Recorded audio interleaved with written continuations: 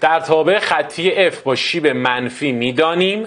F یک دوه و f f منفی یک منفی هشت ترکیب توابع. مقدار f دو کدام است؟ عجب سوالی. بیا با من. یه تابع خطی رو در نظر می‌گیرم. Y مساوی است با ax به اضافه b. Ax به اضافه b. درسته؟ گفته یک بدیم دو می‌گیریم. یعنی آ به اضافه بی تو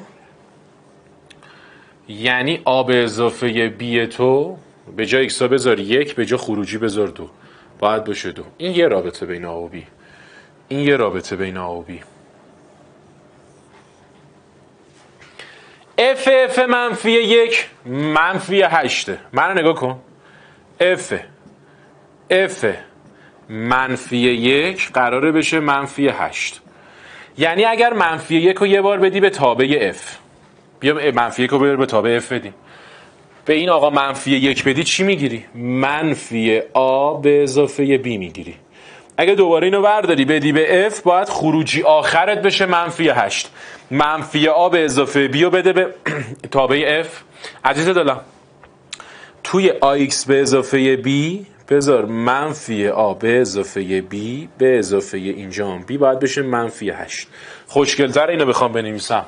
منفی آ دو به اضافه آ b به اضافه b باید بشه منفی 8 یه رابطه اینجا بین آ و b به دست آوردیم. آ به اضافه b مگه دو نیست؟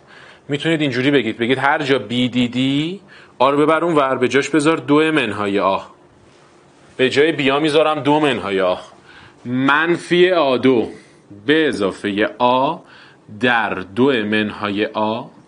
به اضافه دو منهای آ باید بشه منفی هشت. تمیزتر بنویسیمش دوستان همه رو اگه می‌تونید ببرید اونور. یه منفی آ دو دارم می‌برم اونور. فقط لطفا خوب گوش کنید. منفی آ دو. این آ هم ضرب شه. منفی آ دو منهای دو آ دو. بره اونور میشه دو آ دو. دارم همه رو جمع می‌کنم اون طرف.